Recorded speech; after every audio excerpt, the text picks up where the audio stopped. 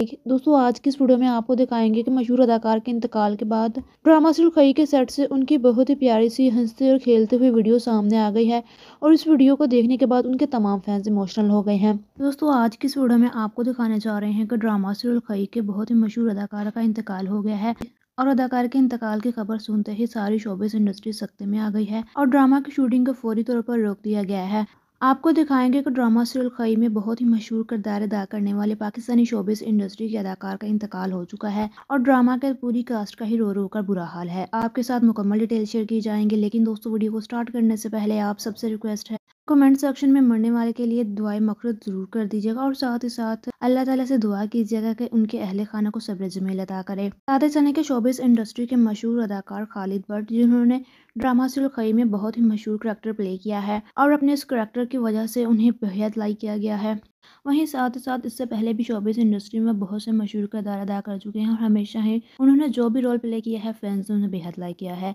drama की पूरी team जिनमें दूरफिशा, सलीम फैसल कुरैशी और भी बहुत से मशहूर अदाकारा नूरुल हसन सबने ही खालिद भट्ट के इंतकाल पर बहुत ही ज़्यादा अफसोस का इजहार किया है और उनके तमाम फ़ैन से दुआ की है कि, कि उनके लिए